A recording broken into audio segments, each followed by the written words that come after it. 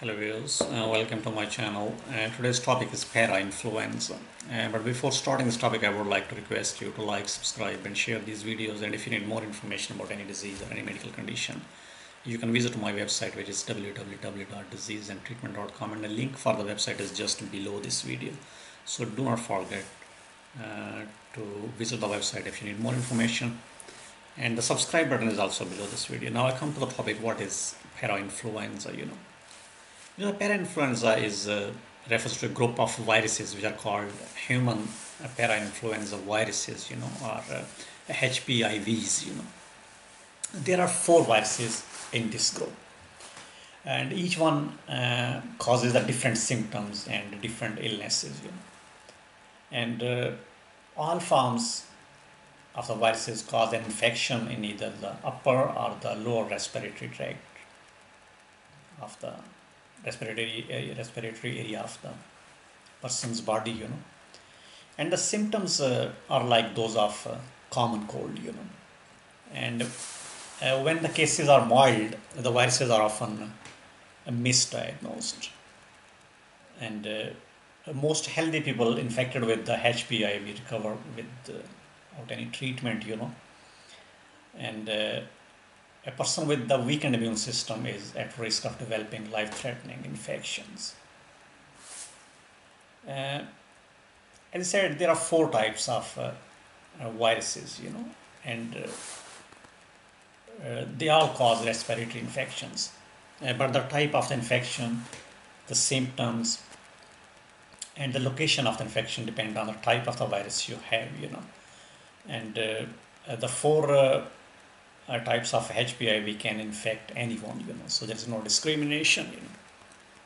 So in case of hp iv1 you know, uh, is the leading cause of uh, like uh, croup in children, you know. And the croup is the respiratory illness that uh, manifests as swelling near the vocal cords and uh, in other parts of the upper respiratory system, you know and it's responsible for the outbreaks of uh, croup in autumn, you know. And uh, uh, the next one is uh, HPIV2, you know. It's the next type, and uh, uh, it causes croup in children, but the doctors detect it less often than HPV1, you know. And it's seen mostly in the autumn, but to a lesser degree than the first one, you know. And HPIV3 infection is most associated with the pneumonia and the bronchitis, you know, which is uh, the swelling uh, from the like uh, inflammation in the smallest airways in the lungs, you know. And uh, it often causes then like uh, infections in the spring or in the early summer, you know. But it appears throughout the year sometimes, you know.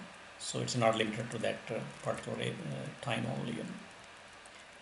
And uh, the exact period of time you are contagious hasn't been determined, you know, but uh, it has been shown that viral shedding and uh, therefore the risk of passing on HPIV3 typically occurs within the first 3 to 10 days of the symptoms, you know.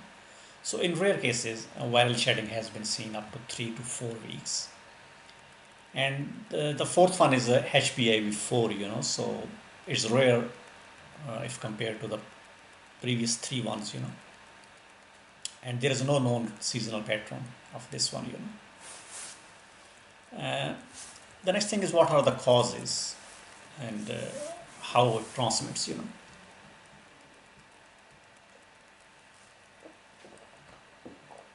You can become infected in several ways you know uh, it can uh, survive on a hard surface for up to 10 hours you know.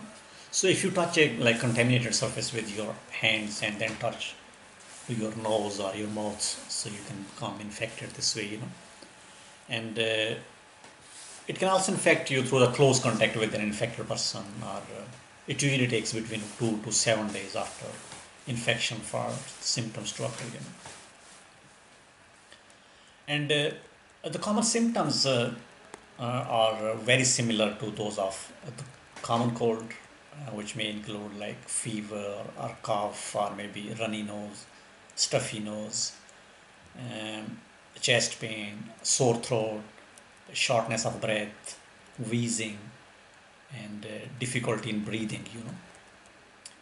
And the symptoms uh, are not uh, severe enough to cause the concern in healthy adults, you know, but they can be life threatening in an infant, in an older adult, or anyone with the uh, compromised uh, uh, or the weakened immune system, you know, like anyone having HIV or maybe AIDS or maybe any organ transplant, you know, or uh, gone through the chemotherapy and radiation therapy, you know, so those people are more uh, uh, at more risk of, you know, where the life-threatening complications can occur, you know. And if you are part of the high risk group and you have the symptoms, you should see the doctor as soon as possible, you know. So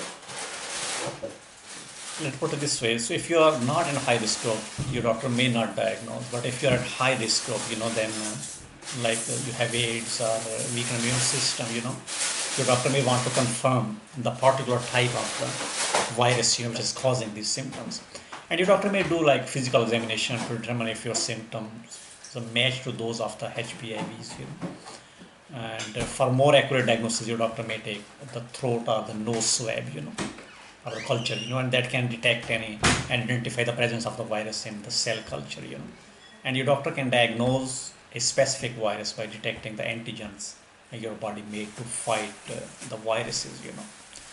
And uh, then your doctor, uh, for the further evaluation, doctor may order the X-rays or other imaging tests like CT scan of your chest, you know. And uh, these both tests, like X-rays and the CT scan, uh, these are the imaging techniques that allow your doctor to see what's happening inside your respiratory system, you know. And uh, they can help the doctor determine the extent of the symptoms, whether you have the complications such as uh, pneumonia, etc. You know, so it helps the doctor to diagnose and uh, uh choose the right treatment plan. Know, and uh, there is no treatment uh, that can like eliminate the viruses, you know, from your body. You know, and if you have an infection, you just have to let it run its course, you know. And this, but the symptoms can be treated, you know, with over-the-counter medications like uh, nasal drops and uh, analgesic like uh, aspirin or uh, like uh, acetaminophen, you know.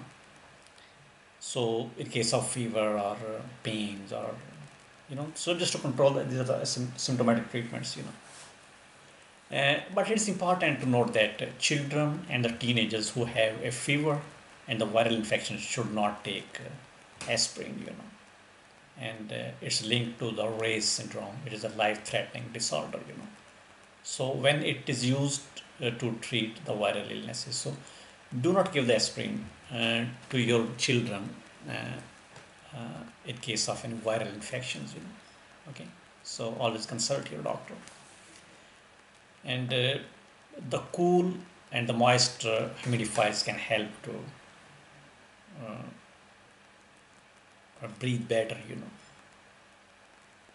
Well, you, can take certain steps to prevent the infection, uh, like wash your hands regularly and disinfect the surfaces that can harbor the viruses. Avoid the close contacts with uh, someone having the like uh, viral infections, you know. And uh, unfortunately, there is uh, currently no vaccine that prevents from the, these viruses, you know uh, it's not a serious illness for most of the people, uh, but it can be life threatening in certain uh, high risk groups. And uh, as long as your immune system is functioning properly, you don't need uh, uh, any treatment, and you should be able to fight the infections. You know. Thank you very much for watching this video. If you need more information about any disease or any medical condition, you can visit my website which is www.diseasesandtreatment.com. Thank you and goodbye.